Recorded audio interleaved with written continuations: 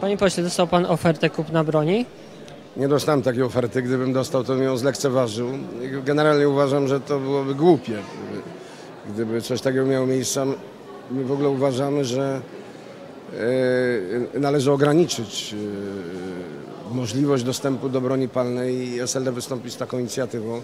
Polska to nie są Stany Zjednoczone. Mówię jako człowiek, który spędził parę lat w tym kraju i jest jednym z niewielu Polaków, którzy we wszystkich 50 stanach USA. I to nie dlatego, żeby pod wpływem tych ostatnich mm, e, tragicznych wydarzeń yy, jakoś reagować. No kobiety myślę mogą i wiem, że noszą przy sobie na przykład pojemniki z gazem na, na wszelki wypadek, ale ja bym raczej nie szedł w kierunku eskalacji.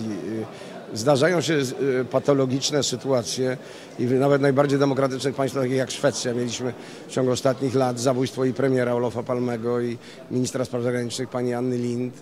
Były zabójstwa polityków w innych krajach tak dojrzałej demokracji jak Holandia chociażby, więc tego się nie da wyeliminować do końca, ale yy, według mnie za bardzo tworzy się atmosferę paniki.